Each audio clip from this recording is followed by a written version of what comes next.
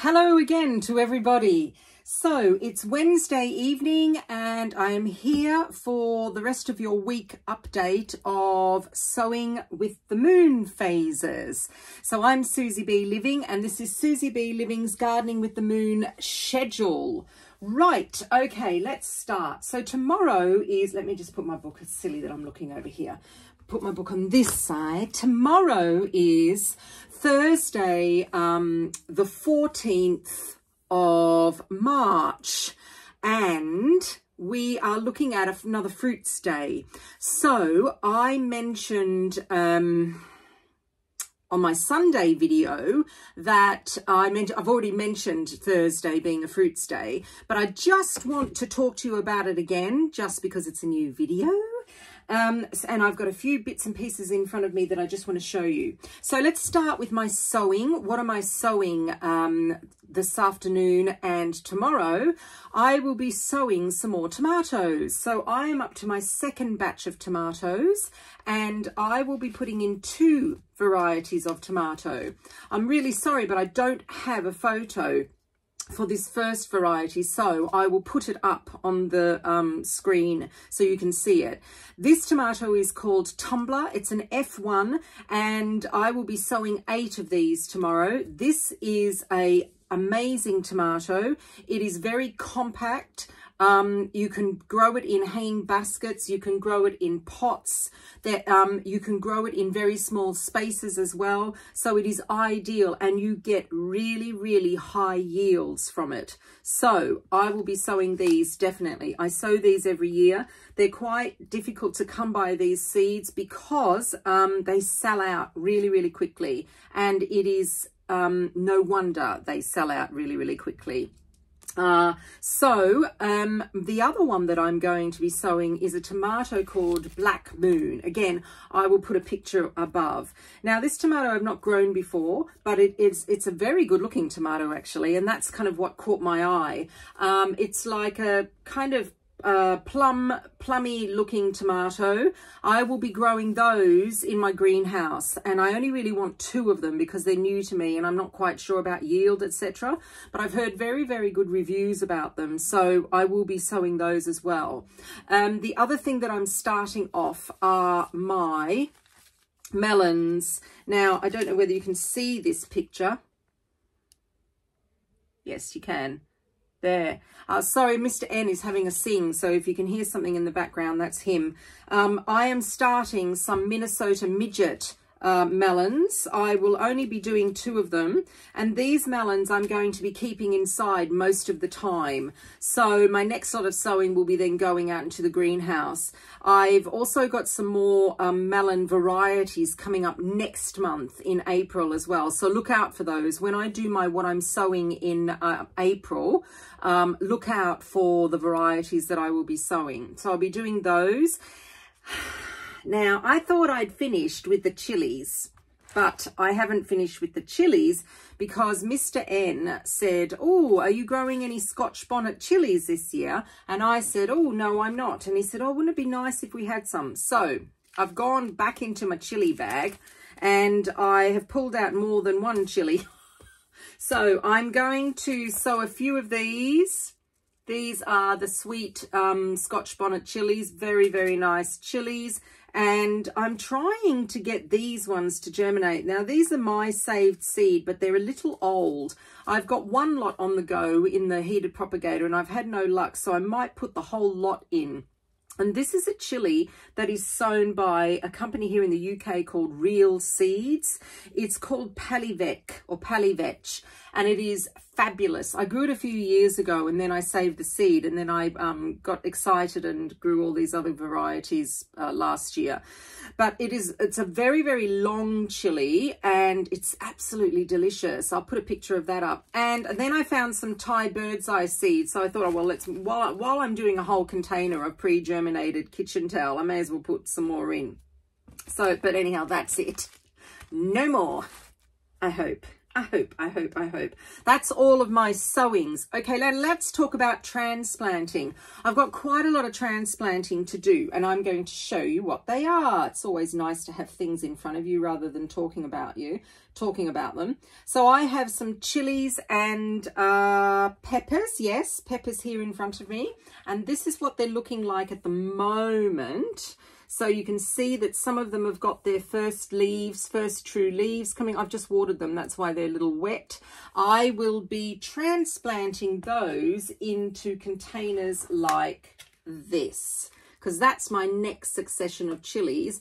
These chilies now needed to be transplanted into their next size pot and they are going in a, can't find them that's too small. So that's a one litre pot into two litre pots. That's what they will be going into the next size up. And then I start giving them a really good feed and they should be fine for the moment. So that's two lots of transplanting that I'm doing. Um, like I said here, I've got quite a lot of chilies and uh, peppers to transplant. I've also got another very small batch um, that are in my heated propagator at the moment. And then I will have these next lots of sowings. The other thing I am transplanting is I will be doing transplanting these. So this is my first batch of tomatoes. This is the tomato, which is a bush type. It's a cherry tomato and it's called Red Profusion. And these now, they're not going to have a huge um, root structure on them, but I think, let me just look. I might, I might not. I have to have a look. I've got to take it out of the pot and see what it looks like. But I'm thinking about actually just taking them up a pot and doing them into um, one litre containers or maybe even a two litre container. Uh, so that will be some more transplanting for me. Everything else is fine for transplanting. Um, okay, now let's talk about um, uh, weeding and maintenance. So for my weeding and maintenance, I've got my broad beans over the road. I need to go and have a look at those. Um, I've got all my peas, they're doing really well. And that's about it really for um, weeding and maintenance. And then for feeding, I'm giving all my chilies uh, and my these tomatoes as well, just a very, very um, light seaweed feed. Uh, I also have the Chili Focus, which is a chili feed, proprietary chili feed, and that's a really lovely one as well. Um, so that's that. All right, let's continue. Thursday, um, sorry, Friday the 15th and Saturday the 16th of this week of March are both roots days. So we're back to roots again. So let's talk about them. I will be sowing, put these back into my little monthly bag. If you watched my last video, I showed you my seed organization, my little monthly bags that I have of my seeds, so I can go through them, through them really easily. Um, I will be sowing, and I thought I had it, put it in my monthly bag. but who knows, knowing me, I probably didn't. There they are, it's right at the front. I will be sowing my celeriac. I didn't sow it last Roots Day. So I sow a variety called Monarch. It does really well here in the UK. So I'll be sowing some of them.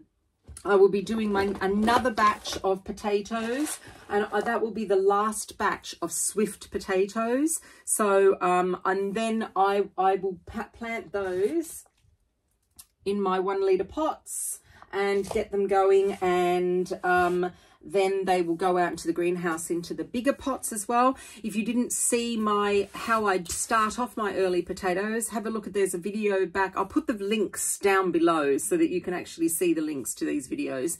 Um, and you can click on it and see how I do my early potatoes as well.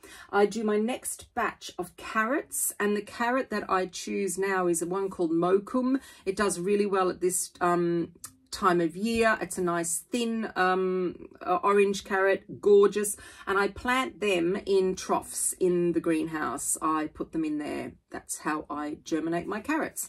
Okay, let's talk about transplanting. So I have quite a bit to transplant. I have shallot. My shallots are ready to transplant now. The ones that are in the greenhouse, they're going over the road to the allotment and they're going to be put in the same bed that I've got my red onions. So they're going in. Um, I've got some more beetroot that I have to find a space for under cover. Uh, that that is the bull's blood and the white one, the albino one. I'm growing them mainly for their leaves, so it doesn't really matter if they're kind of squidged in amongst other things. So I'll just try and find some interplant spacing for them. Um, I have some potatoes in the greenhouse that are already come up in the small pots. They need to be then potted on into my big pots. I use like 25 to 30 litre pots, so that will be happening as well. Um, they are swift. I've got some Swift and I've got some Charlotte in the greenhouse. So they will be transplanted. Um, my I have some onions. I've got some Lilia onions, which are the red um, spring onions or bulbing onions, and some North Holland blood red onions. They will be transplanted out as well. And I usually do those here in the kitchen garden. I might do them over the road and I was thinking actually of doing a few in the greenhouse over the road as well. Um, if you follow me, you'll see that my greenhouse at the moment over at the allotment is full of my um, and cauliflowers. And then I've got some lettuce and some komatsuna and um, some beetroot in there. But I think I should be I, I should be able to get a few um, onions in there as well. Spring onions uh, if I eat them as spring onions. And the last thing is I have a tray of radish that's in the big greenhouse that needs to be planted out, and that will go in one of my veggie pods. So that's my transplanting. Weeding and maintenance. Uh, I will check the red onions over at the allotment, but they seem to be pretty good. When I say check, because I cover everything either in net netting or polythene. When I say check, I mean actually open up the netting or polythene, get down on my hands and knees and have a really good look. I look out for anything that's rotting, anything that has a disease on it, anything that has any bugs or um, in that case allium leaf miner on on them and just check things over. It's a really good time on these moon phase days it's a really good time to get really close to your plants and have a really good look at them rather than just brush past them all the time. Um, I will do the same here at home with my garlic so I'll take the netting off and have a really good look at the garlic the last roots day I gave it a feed so that should be be good. Um, I have radish in the veggie pod. I keep an eye on them all the time. Make sure that there's no slugs getting at them. Uh, I've got leeks that I want to have a look at as well. Take off all the old leaves, anything that can be eaten by any kind of critter. And I have carrots in the greenhouse. I will be harvesting um, a trough, the rest of one of my troughs today because we need carrots for dinner. Um, and, but I've got another lot of carrots in there and just check them over all the time. Make sure, especially for slugs. Feeding and watering any kind of seedlings that I've got that I feel that need a feed. But normally this time of year, allium seeds or, um, you know, uh, anything that's um, a root doesn't really need a feed as well. So that's those. And then Sunday, the 17th of March, is Flowers Day again. And I am going to be sowing my main crop batch of cauliflower and calabrese, or broccoli as we call it. We call it calabrese in this country.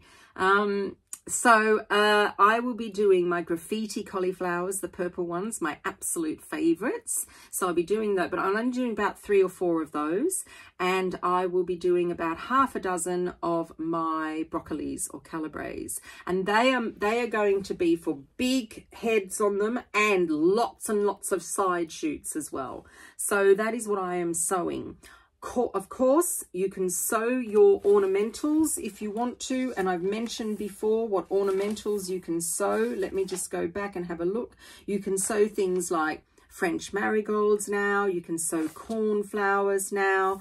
Um, you can sow your um, hardy annuals now like calendula, nasturtiums, all of those you can sow now. You can sow perennials if you want to, um, and you can get, get in your um, summer bulbs or summer tubers. So um, lilies, gladioli, freesias, crocosmia, get your dahlias started as well. Great time on Flowers Day to do things like that. Um, for transplanting, I have nothing to transplant, um, but you could, if you've got any hardy annuals or any perennials or any brassicas that you want to transplant, transplant those on Sunday, on Flowers Day. Um, weeding and maintenance, you can lift things like snowdrops and aconites. It, they call that lifting in the green uh, because they still have their green leaves on. You can cut down, you can go into the garden, cut down your perennials now. You should be fine to do that any kind of primulas or polyanthus, you can split those. Um, it's a good time of year. Make sure you're on top of pruning your roses, um, deadhead your hydrangeas as well. And if you've got a forsythia that, that has just flowered, it's a really good time of year to prune a forsythia as well after it's flowered.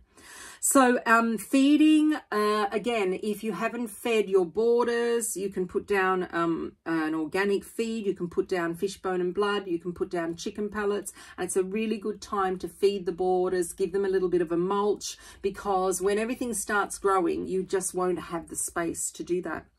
And so that is Sunday. That takes us all the way to Sunday. So it's all, it's exciting, isn't it? It's always busy this time. Well, it's always busy. It's always busy for me.